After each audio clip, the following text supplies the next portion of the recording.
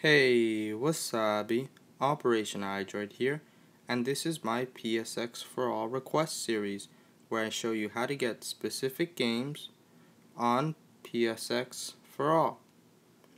These games are taken by request, so if you would like to request a video, leave it in the comment section below. And today's episode is the Legend of Dragoon on PSX4ALL.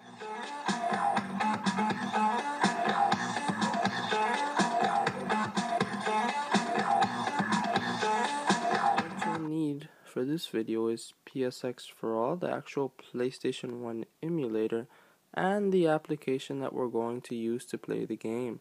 Also going to need iFile, file browsing system, where we will put the game in the right place. And lastly, we'll need Safari Download Enabler. To get that, we're going to have to go into Cydia, then the Search tab, and search Safari Download Enabler. It's the first tweak, and it's completely free, so just go ahead and install that. Okay, so to get the actual game, we're going to have to go into Safari. Then in the URL, we are going to, and we are going to type cool rom.com and go. So this will automatically direct you to their mobile website and that's fine because their mobile website I find it a lot easier to browse through than their regular website being as we're on a mobile device so it works just fine. So don't be alarmed when it sends you to the mobile website.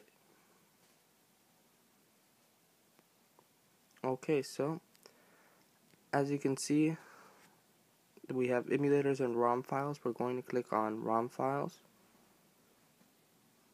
Then it'll bring up a list of all the emulators that you can get ROMs on. So we're going to scroll down till we get to Sony PlayStation, second to last. We're going to click on that. And then it's going to direct us to the next page, which is very nice because it has top 25 downloads, top 25 rated, and browse by letter. So we're going to browse by letter for Legend of Dragoon, the game that we are getting. I hope it's under the L and not the T, but I, I'm pretty sure it's under the L. Yep, there it is.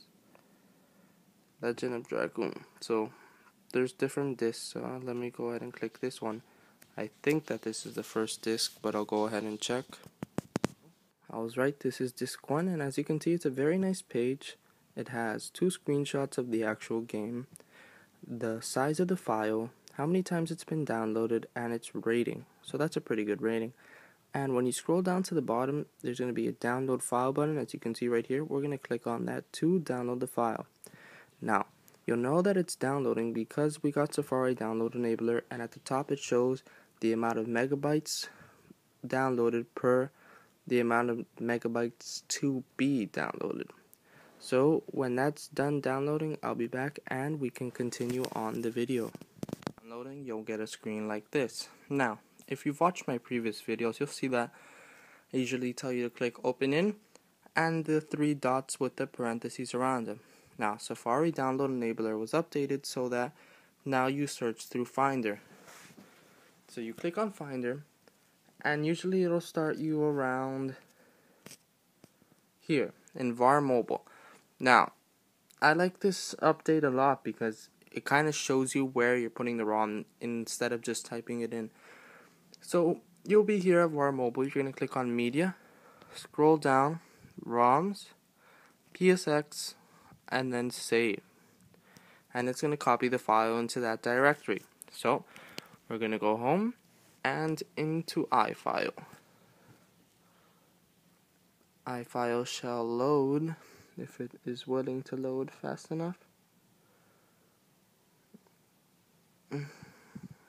Okay, and when you open iFile, you would usually be here. As you can see, it looks just like Finder, so you're going to go from VAR Mobile to Media, ROMs, PSX, and we'll scroll down, and as you can see, The Legend of Dragoon is there. So, you're going to click on that. Then we're going to click on Zip Viewer. It's going to load the contents. This takes two to five minutes, so I'll be back when it is done. and when it is done loading the contents you'll get a screen like this so what you're going to want to do is click on the .bin file just my, as I am doing as you can see it highlights it in blue and there is a red check mark on the left. So this is the only .bin file so we're going to go ahead and click on the bottom right with the box with the arrow pointing up. Then it'll ask you to extract the file and of course we are. Once again, this will take 2 to 5 minutes, so I'll be back when it's done.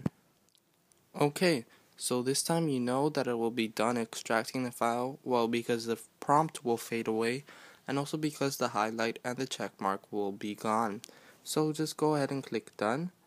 We'll redirect you back to the PSX folder, and when we scroll down you can see Legend of Dragoon disk 1.bin is there. So when you're done extracting the file, you can go ahead and delete the disk 1. And if you're noticing that it is not emptying out the space, as you can see, I updated and I still have 516 megabytes. It's because you have to empty the trash. So go ahead and click on the trash and empty it. So the trash was successfully emptied. And now when I update it, you can see that it is still the same. I'm just kidding. Usually takes a while. And there you go. See, 805.2 megabytes. And also, if you would like to edit the name, you can go ahead and do so right here. So, all you have to worry about is that you make sure that, oops, you make sure, as you can see here, the dot bin is connected to the last character in the name. So just make sure that that is like that. And of course, you need to keep the dot bin. So I'm going to go ahead and change the name to The Legend of Dragoon. So when I click done, it will be down by the T now because I started with the T. And there it is. The Legend of the Dragoon Disc 1. Okay, so now we can go ahead and play the game. But before, always make sure that the PSX4ALL is not open in the multitasking bar. So if it is, then go ahead and kill it, as I just did and then you can go and open PSX4ALL and the ROM game will be in the PSX RAW app and 100% playable. And if I scroll down to the T, The Legend of Dragoon Disc 1.bin. I'm going to put portrait in no sound so you guys can see it. And as you can see it's working. The Sony boot logo has just appeared and next up next up will be the PlayStation boot logo and there it is. Then the game will run. So I hope you guys enjoyed this video and I'll see you next week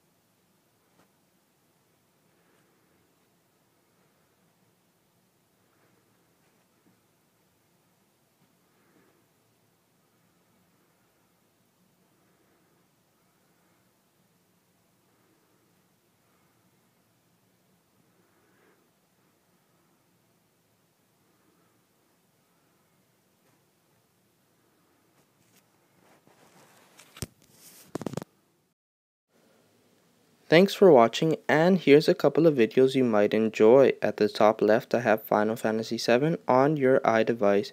Basically a video where I show you how to get Final Fantasy VII on PSX4ALL. Below that I have how to get ROMs on PSX4ALL, a general video on how to get games on PSX4ALL.